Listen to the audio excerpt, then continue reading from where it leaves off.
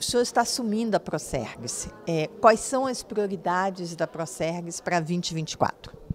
As prioridades são os seus investimentos direcionados para três áreas definidas pela Procergs, evidentemente é, em, em, concordância com o governo do Estado, a área de segurança, a área de educação e a área de saúde.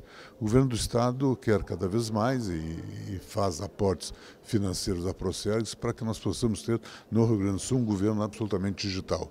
Este é o grande desafio, este é o objetivo da Procergs e principalmente direcionados para essas três áreas. Quais são as principais contratações que você acredita que a Procergs fará em 2024? Todas aquelas contratações necessárias para que possamos desenvolver os projetos dessas três áreas. Né? É, a permanente modernização, a permanente atualização que a Procergs tem por esse objetivo e quando ela participa de encontros como, como este, ela tem também o objetivo da troca de experiência, do, do, do ganhar no, no, no, conhecimento daquilo que está sendo realizado em outros estados, o que pode ser avançado em termos de Rio Grande. Eh, essa relação também, acho que muito transparente com, com, com os fornecedores, que são parceiros para que nós possamos desenvolver os projetos.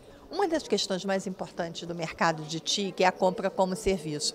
E aí as PRODs têm um problema, porque na maior parte das vezes a compra como serviço entra como custeio e não como investimento. Com o equilíbrio entre custeio e investimento, para se garantir que se tenha soft, preços baixos, para que se tenha as vantagens da compra como serviço. Esse é o grande desafio das PRODs. Né? É, é, que possa haver esse equilíbrio né, do custeio com os investimentos. Não adianta nós é, simplesmente acelerarmos a questão de investimentos se ela estiver desassociada com, o custeio.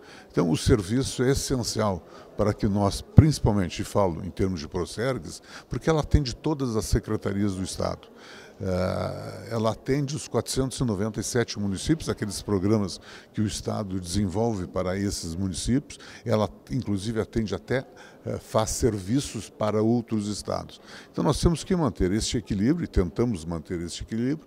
Cada vez mais nós temos um custeio alto, evidentemente que sim, porque na medida que começamos a, a, a, a nos projetar para o mercado, a, a aumentar a participação da Procergs no mercado, mas eu tenho, eu tenho também que fazer a busca de investimentos para que possa contemplar a qualidade do serviço. Esse é o nosso desafio e para isso acho me parece que a Procergs está muito bem preparada pelo trabalho que tem sido realizado. Eu, eu recém assumi a, a empresa, mas é uma empresa muito redonda, uma empresa que está madura, é uma empresa que está uh, muito bem uh, conceituada. Né? Ela, ela tem a, o seu dinamismo necessário pela importância que ela tem no governo e principalmente é uma característica, acho que isso tem, tem que ser saudado do governador do estado, porque ele, ele olha, ele enxerga a questão digital com muita importância.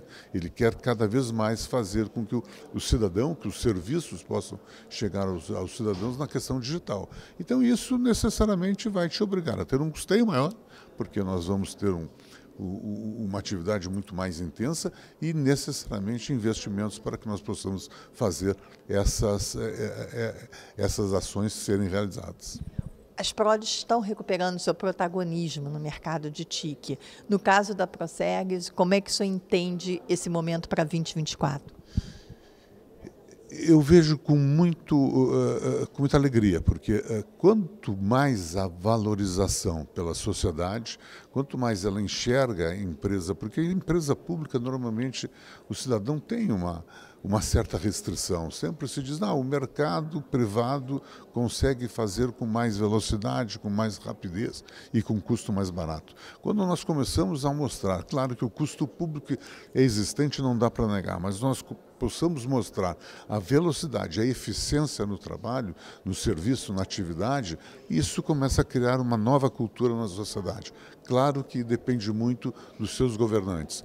É importante aqui hoje nós ouvindo a participação de todos os estados, é, fico muito contente quando eu vejo que os governantes estão cada vez mais investindo, estão cada vez mais valorizando, até transformando autarquias em, em empresas públicas, às vezes tirando de secretaria e dando uma autonomia para essas empresas, para, para, no caso da Procergs, por exemplo, que tem autonomia absoluta, isso é importante, porque há uma demonstração de credibilidade, há uma de, demonstração de confiança do, do, do Poder Executivo e há uma valorização eh, necessariamente do reconhecimento da sociedade que aquele serviço, aquela atividade é bem realizada.